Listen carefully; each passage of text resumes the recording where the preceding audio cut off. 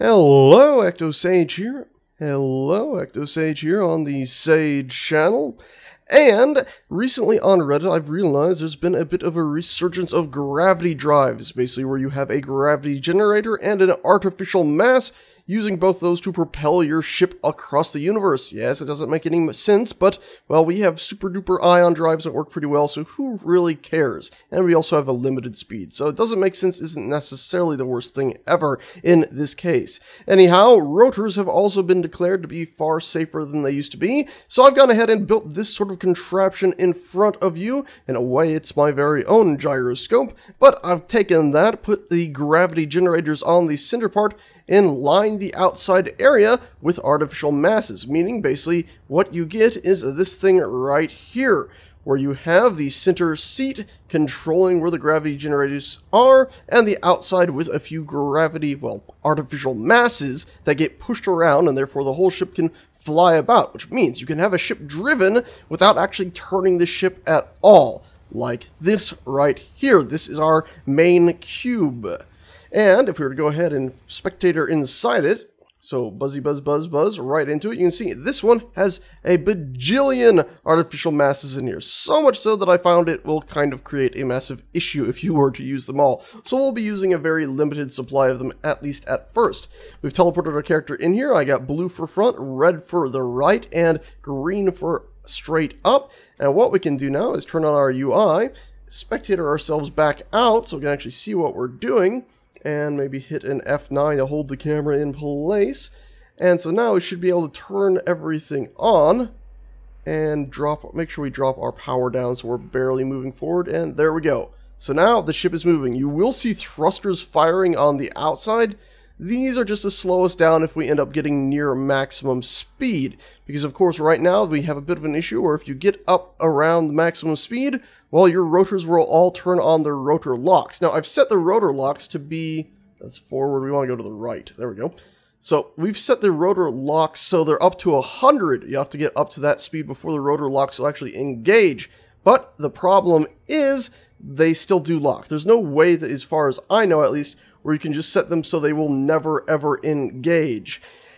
It's unfortunate, but it's the only way I can really set it up for the time being. So we have to make sure our speed, if we go over 100, we will slow back down. Hence the reason why we do have those thrusters to slow us back down. Uh, let's hop back in the first person again so we can aim ourselves back towards where we started out. There we go. And so there you go. You can see the cube will now fly about as we direct it from the inside.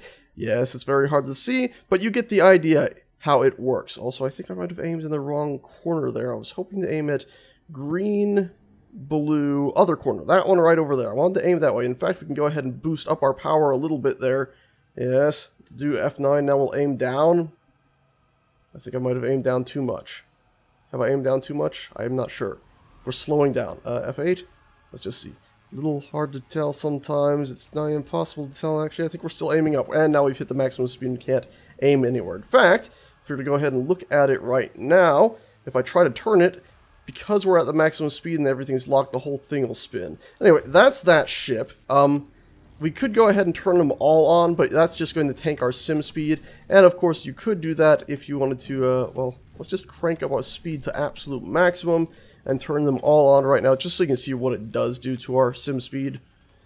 I've clicked that. Okay, there we go. It's responding. And Shift F11, Shift F11 again, Shift F11 again, there we go. And our sim speed is 0.08. So 8% of real speed is what we're at right now. So it tanks it pretty heavily. Anyway, let's delete this so it doesn't nuke our whole world. There we go. And close that out, groovy. Uh, and let's go ahead and get ourselves back to our little test area there, shall we? And just to show it off a little bit more, we have this contraption right here, which is basically everything I've just shown you, except for this one I've set the rotors, so if we go ahead and just turn on the uh, rotors, didn't actually make a group for them, that might have helped us a little bit. So now they'll spin on their own. Ta-da. And now, if we turn on those artificial masses in there, the ship is going to propel itself about in all sorts of different strange directions, using those, uh, well, the gravity drive, basically. I love the fact that rotors are apparently pretty stable now. I haven't done any massive, massive tests, but so far, Well, I'd say that's pretty stable, considering it's able to propel itself about in some strange ways. And really, we could have done the same thing with the uh, ship we just sent off into space, so you would have a cube moving about completely on its own without really any proper thrust. Of course, any thrust you see there is it trying to stop itself. Well, one more thing before we end the video, I guess I'll fly over to this one right here, and we'll actually just fly it about, because it's a bit easier to fly when, of course, you can actually see out of the ship and I actually do enjoy flying it a little bit. And came in a little hot. Yes, we did.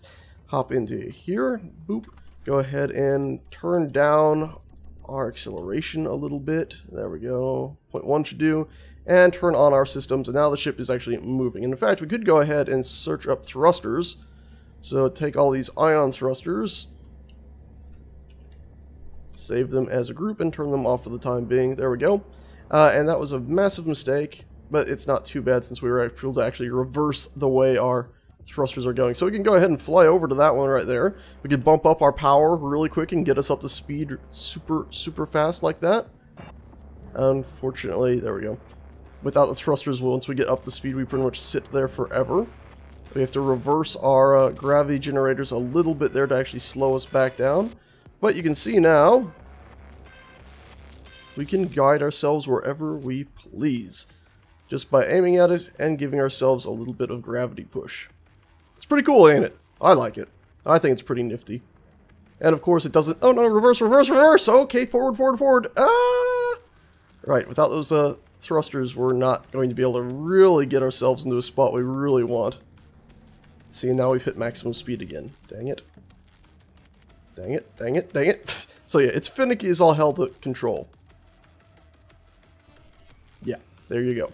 Anyway, I just thought I'd share that thing. I'll probably go ahead and put uh, the thing we're sitting in right here. Oh, gosh darn it, maximum speed. I wish there was a way to uh, actually disable those safety locks. But I guess maybe they're afraid that their rotors are going to go completely silly if they uh, allow us to do such a thing. Either way, though, that's that. I'll put this thing we're in right now up on the Steam Workshop. Uh, and if you would like to go ahead and uh, get your hands on it, you're more then welcome to do so. And fiddle with it and maybe stick in the middle of your larger ships or whatever you please. Anyway, that is that. Thanks a bunch for watching, and I'll see you all next time.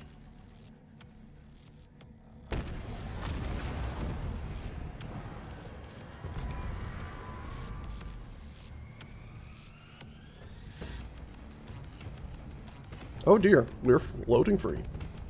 We are most definitely floating free.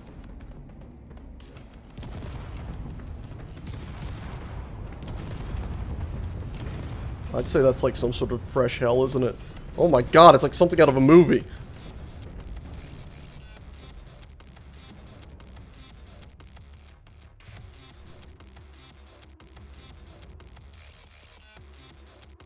Yep. Yep, that just became a mess. Uh, ta-ta.